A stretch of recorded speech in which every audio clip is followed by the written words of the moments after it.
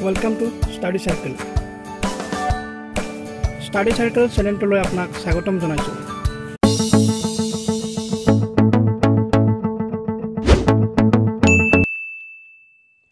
আজিৰ প্ৰথম প্ৰশ্নলৈ আহিছোঁ what is the total land area of Assam অসমৰ টোটেল মাটিকালি কিমান? অপশ্যনবোৰ দিয়া আছে option A seventy eight thousand four hundred thirty eight square kilometre option B seventy eight thousand five hundred thirty eight option C seventy eight thousand six hundred thirty eight option D seventy eight thousand seven hundred thirty eight square kilometre ইয়াৰ শুদ্ধ উত্তৰটো হ'ল A seventy eight thousand four hundred thirty eight square kilometre দ্বিতীয় প্ৰশ্নলৈ আহিছোঁ which is the highest populated district of Assam option A Barpeta option B Baksa option C Chirang option D Nagaon অসমৰ কোনখন জিলাত জনসংখ্যা আটাইতকৈ বেছি? শুদ্ধ উত্তৰটো হৈছে D Nagaon.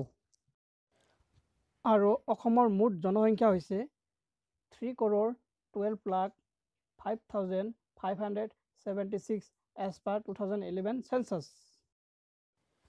which of the following is not connected with the border of Assam option A Meghalaya option B Arunachal Pradesh option C Mizoram option D Sikkim তলৰ কোনখন ৰাজ্য অসমৰ সীমাৰ সৈতে সংযুক্ত নহয় বা অসমৰ সীমাৰ লগত লগ লাগি থকা নাই? ইয়াৰ শুদ্ধ উত্তৰটো হ'ল D Sikkim which schedule of the Indian constitution deals with the administration of tribal areas in Assam option A fifth option B six option C seven option D eight ভাৰতৰ সংবিধানৰ কোনটো চিডিউলে অসমত থকা ট্ৰাইবেল এৰিয়াৰ এডমিনিষ্ট্ৰেশ্যনৰ সৈতে ডিল কৰে? ইয়াৰ শুদ্ধ উত্তৰটো হ'ল B six schedule which of the following north eastern states share longest boundary with Assam option A Tripura. Option B Mizoram option C Arunachal Pradesh option D Meghalaya অৰ্থাৎ নৰ্থ ইষ্টৰ কোনখন ৰাজ্যই অসমৰ সৈতে আটাইতকৈ লংগেষ্ট মানে দীঘল বাউণ্ডাৰী শ্বেয়াৰ কৰে? ইয়াৰ শুদ্ধ উত্তৰটো হ'ল মেঘালয়া। আৰু আটাইতকৈ কম বাউণ্ডাৰী শ্বেয়াৰ কৰে ত্ৰিপুৰাই।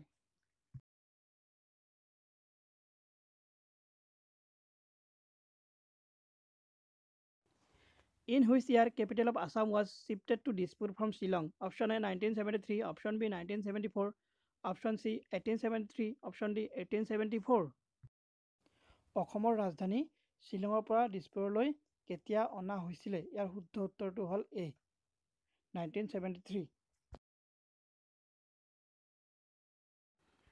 which of the following products in Assam has oblique have geographical indication tag option A মাদ্ৰাইজ option B Muga silk option C both A and B option D none of this ইয়াত শুদ্ধ উত্তৰটো হ'ল C both A and B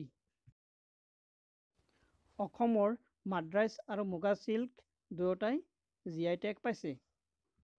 আৰু recently অসমৰ গামোচাইও G I tag পোৱা বুলি declare কৰিছে। Assam's first C N G station installed in দেশ option A Dibrugarh option B Nalbari option C Guwahati option D Dhemaji. অৰ্থাৎ অসমৰ প্ৰথম চি এন জি ষ্টেচন তলৰ কোনখন ডিষ্ট্ৰিক্টত ইনষ্টল কৰিছে? ইয়াৰ শুদ্ধ উত্তৰটো হ'ল এ ডিব্ৰুগড়।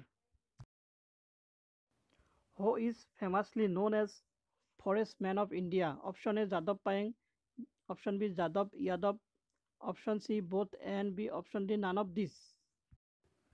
ভাৰতৰ ফৰেষ্টমেন হিচাপে কাক জনা যায়? ইয়াৰ শুদ্ধ উত্তৰটো হ'ল এ যাদৱ পায়েং। আপোনালোকে আৰু এটা পইণ্ট মনত ৰাখিব। যাদৱ পায়েঙে ক্ৰিয়েট কৰা ফৰেষ্টখনৰ নাম আছিল Molai forest. What is the name of India's smallest orchid discovered in Assam option A Lecanorchis taiwaniana option B Lecanorchis টুমাইমিয়া option C both A and B option A ইয়াত শুদ্ধ উত্তৰটো হ'ল এ লেকনৰ্চিছ টাইৱানিয়ানা। অৰ্থাৎ অসমত ডিছকভাৰ কৰা ভাৰতৰ আটাইতকৈ সৰু অৰ্কিডজোপাই হৈছে Lecanorchis taiwaniana which city is known as the tea city of India option A Dibrugarh. Option B Barpeta. Option C Baksa. Option D Chirang. কোনখন চহৰক ভাৰতৰ টি চিটি হিচাপে জনা যায়। ইয়াৰ শুদ্ধ উত্তৰটো হ'ল A Dibrugarh.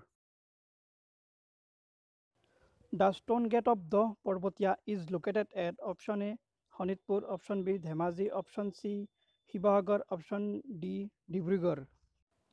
Da Parbatia শিলৰ গেটখন তলৰ কোনখন ঠাইত অৱস্থিত? ইয়াত শুদ্ধ উত্তৰটো হ'ল এ শোণিতপুৰ। ভিডিঅ'টো চাই যদি আপোনাৰ ভাল লাগিছে তেন্তে লাইক শ্বেয়াৰ আৰু ছাবস্ক্ৰাইব কৰিব। ধন্যবাদ।